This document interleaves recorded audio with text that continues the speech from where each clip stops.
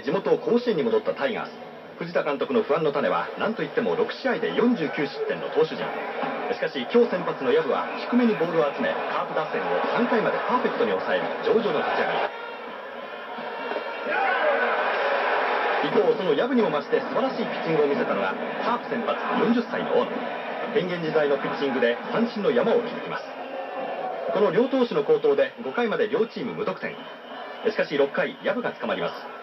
ランナー2塁1塁で5番金本が粘り粘った11球目高めに来たボールを右中間へ運びます。ランナー2人が帰りさらに続くロペスにもタイムリーが飛び出し一挙3点を奪います。7回まで大野の前に11三振のタイガースですが8回ようやく大野を捉えます。1点を返しなおもワンアウト1塁3塁のチャンスに1番新庄が右中間を深々と破るタイムリーツーベース。ようやく目覚めた猛虎打線一気に同点に追いつき試合はこのまま延長戦にもつれ込みます。延長10回タイガースは9回からマウンドに上がった笹岡を攻めワンアウト3塁2塁とサヨナラのチャンスをつかみバッターは同点タイムリーを放っている新庄。新庄の当たりはサードゴロ。三塁から和田がホームを狙いましたがタッチアウト。サヨナラのチャンスを逃したタイガース。試合は現在12回終わって3対3の同点です。8回ランナー1塁2塁のチャンスにバッター新庄。この貴重な2点タイムリーで3対3の同点。ゲームは延長へともつれ込みます。そして迎えた延長13回。ゲーム開始からはなんと5時間。ランナー2塁3塁で西山。ホームはクロスプレーとなりますが山田がこぼしてこれが決勝点。阪神藤田監督の勝利への執念もわずかに届きませんでした。2号ツーランホームラン。甲子園で打てて気持ちがいいですという新庄の一発でタイガースが同点に追いつきます。カープは4回江藤がツーベースを放ちますがファーストランナーの前田が二塁を回ったところで右足の太ももを痛めるアクシデント。去年痛めたアキレス腱ではなかったものの突然の肉離れで前田は退場カープに嫌なムードが漂います。タイガースはその裏ノーアウト満塁と絶好の勝ち越しのチャンスをつかんでバッターは和田。しかし初球攻撃はサードの正面をついて最悪のホームゲッツー。勝ち越し点を奪えずタイガースゲームの流れを引き寄せることができません。一方カープは5回ここまで6試合連続ヒットのロペスがタイガース先発の湯船から詰まりながらも来日第1号の勝ち越しホームラン。この後さらに1点を加えて4対2とします。中盤からタイガースを抑えていた紀藤は7回石峰の打球を右手親指の付け根に受けてカープまたもアクシデント。大事には至りませんでしたが木村監督今日は心配の連続です。しかしこの後井上笹岡が抑えてカープがタイガースを下して3連勝。貯金を1としました。先発は2試合目の登板となったルーキーの船木。2回ツーアウト満塁のピンチでピッチャーの玉木に打たれます。初登板の巨人戦で好投した船木ですが今日は立ち上がり球に本来のキレがなく2点を失います。しかし今日は打線が船木を援護します。3回1点を返しさらに満塁のチャンスで檜山。広島の先発ルーキー玉木から走者一掃のタイムリーツーベースヒット。阪神4対2と逆転します。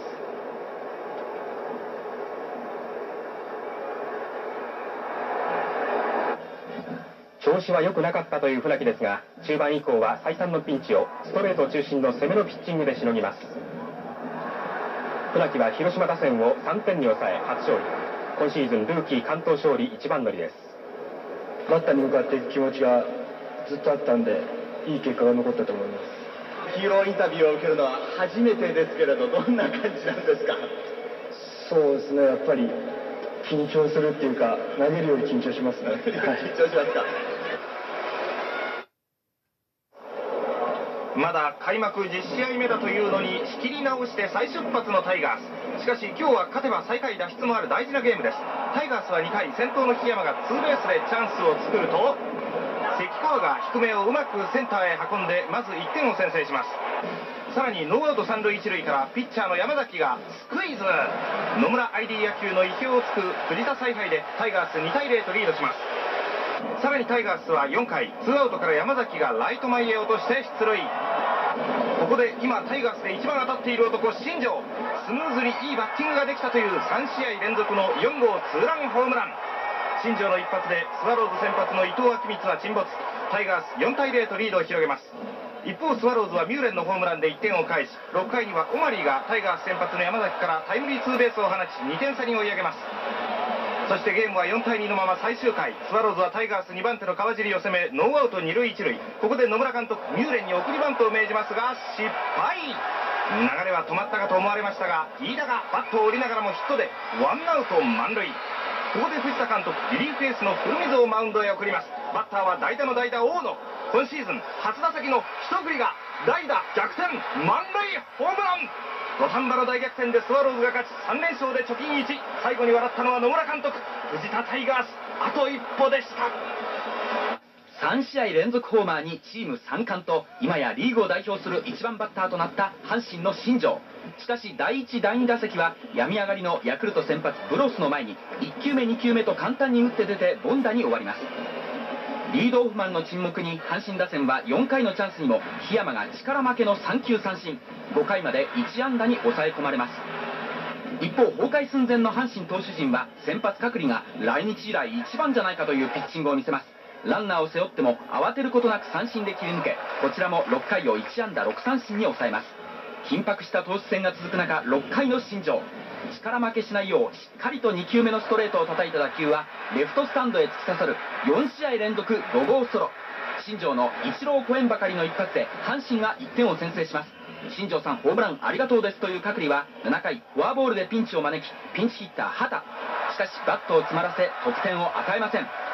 いつもなら逆転という2文字がちらつく9回も4番からの攻撃を3人で抑え130球の完封。共に2安打の接戦は新庄の一振りと隔離の頑張りで阪神がものにしました。ヤクルト先発の吉井に対してこれトゥーナッシングからです。え調子が悪いとね1球ぐらいボール振るかななんていうね、ええ。気があるんですけどそういう気ないですね。もう来た球を振るというねライト線のツーベースこれツーナッシングからこれバッティングできるんですね、吉井も3球勝負ですからね、はい。決して調子悪いと思ってません本人もね、ええ久慈が送ってワンアウト三塁、まあ、タイガース先制のチャンスだったんですが吉井踏ん張ります、はい、フォークボールがよく落ちましたね、ええ。まあ、今日の吉井はランナーを出すんですがフォークのコントロール良かったですね。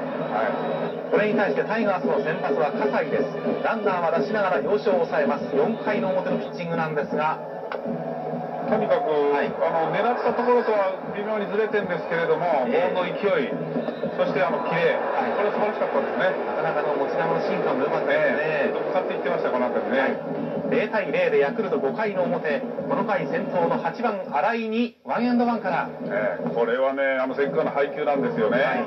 結局このまっすぐで勝負いっていいバッターに警戒してシンカーシンカーでしょ、ええ。そんなにコントロールいいピッチャーじゃないんでねちょっとこの配球見守ってましたね。吉井を送ってワンアウトセカンドから1番の佐藤がライト前浅い当たりだったんですが平塚の返球。えー捕球した体勢もいいんでね、ええ。この場所からちょっとアウトにしてほしいそういう気がしましたね、洗い替えって1対0です。さあタイガースしかしながら7回の裏。